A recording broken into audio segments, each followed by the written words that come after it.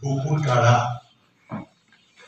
मराठी अर्थान अर्थात काय लावायचं? उद्याचे म्हणतील आम्ही राजकीय बोललो होतो वगैरे.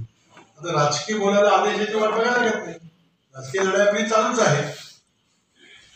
आदेशाची वाट बघू नका विरोधकांना ठोकून काढा. आता पैशाचा इतका वापर केला मतविभाग मत विकत घेण्याकरता सत्तेचा दुरुपयोग केला इलेक्शन कमिशनचा दुरुपयोग केला. आता प्रत्यक्ष टोकाटोकीची भाषा देवेंद्र फडणवीस बोलत आहेत ही राज्याच्या घरानंतरला शोभत नाही.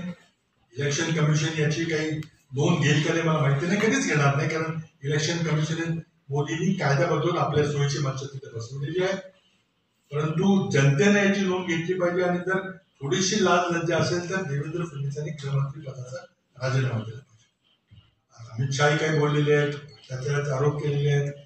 भ्रष्टाचाराचे आरोप करण्याची तुम्ही आरोप आरोप करावे की इतकं हास्यास्पद आहे.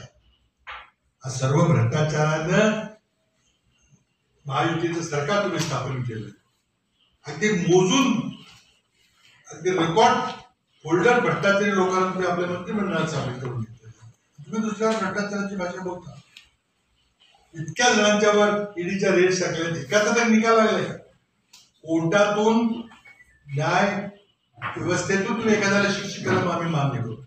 नुसते तुरुंगात टाकायचं माणसं नुसते त्यांना कारवाई करायची आणि दहशत निर्माण करायची आणि पक्षांतर करायला लावायचं हे आता मॉडेल चालणार नाही. लोकसभेमध्ये लोकांनी हे घडून लावलेलं आहे. आता विधानसभेमध्ये याच्यापेक्षाही गंभीर निर्णय लागतील. सत्तांतर तो होणारच आहे यांना.